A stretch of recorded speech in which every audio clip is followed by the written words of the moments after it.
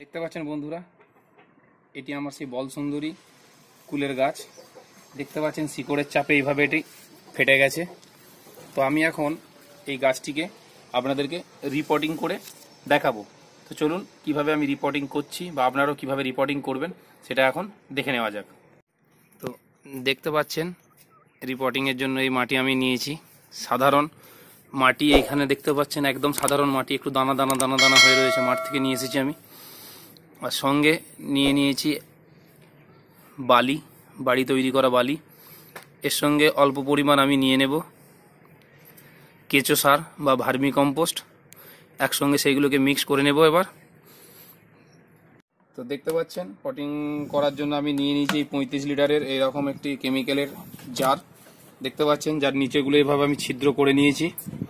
এই ছিদ্রগুলিতে এখন আমি বালি চালা যে নুড়ি হয়, বাড়ি করার সময় যে বালি চালে যে নুড়ি কাপড়গুলি পাওয়া যায়, সেইগুলি দিয়ে আমি এখন এই নিচেটা একটা লেয়ার বানিয়ে নেব। দেখতে পেয়েছেন তো আমি এইভাবে লেয়ার করে নিয়েছি। এবার আমি পটিং মিডিয়া বা যে মাটিগুলি থাকবে, একটা বালির লেয়ার বানিয়ে নিয়ে তার উপরে সেইগুলি আমি ভরে নেব। তো দেখতে পাচ্ছেন এই যে ফেটে যাওয়া অংশ, এ থেকে আমি এবার গাছটিকে টেনে বের করে নেব। অর্থাৎ টেনে তো বের করা যাবে না, এটাকে ফাটিয়ে ফেলে দেবো, কারণ এটা কোনো কাজে আসবে না। তারপরে শিকড়গুলিকে আস্তে আস্তে কিছুটা প্রুনিং করে দেবো, তারপরে আমি পটিং করব।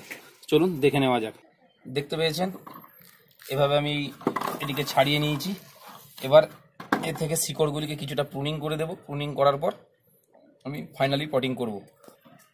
দেখতে পেয়েছেন? চারিদিক থেকে শিকড়ের চাপে কীভাবে ফাটিয়ে দিয়েছিল, প্রচুর পরিমাণে শিকড় হয়ে গেছে। নিচেটা লক্ষ্য করলে দেখতে পাবেন, কীভাবে রুট বাউন্ড হয়ে গেছে এভাবে। শুধুই শিকড়, কোনো মাটি নেই। দেখতে পেয়েছেন?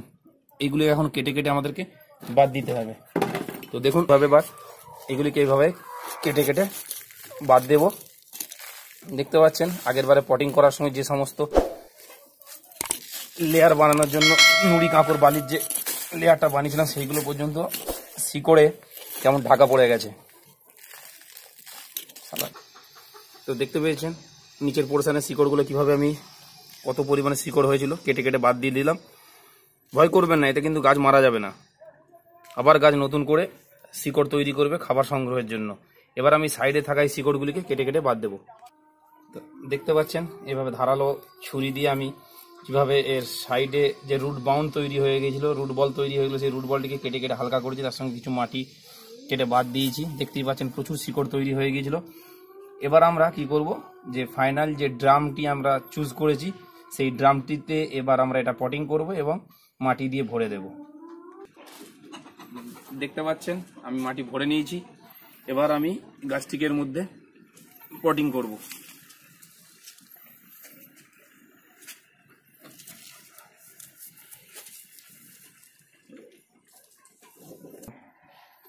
দেখতে পেয়েছেন, আমার একটি বসানো হয়ে গেছে। এবার আমি এটিকে মাটি দিয়ে ভরে দেব এবং জল দিয়ে দেব।